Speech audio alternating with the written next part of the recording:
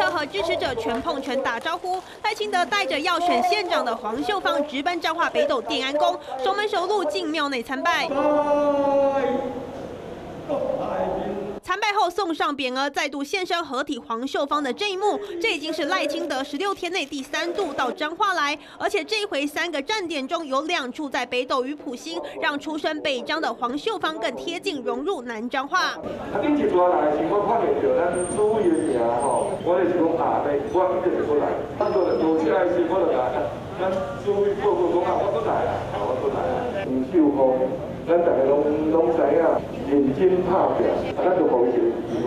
副总统两周内三度来访，先前预告会再造电安宫，听得妙方主委笑得合不拢嘴。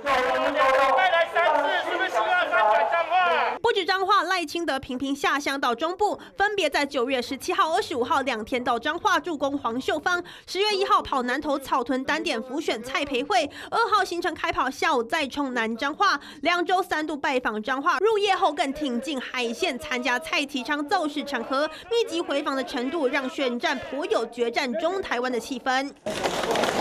赖清德带着十八岁公民权的议题，加上辅选各地候选人，拉大助攻强度与频率，不仅 hold 住了二零二二决战中台湾的气势，也像是二零二四总统大选提前暖身。三雄许淑伟、吴宗哲、谢云珍、张化采访报道。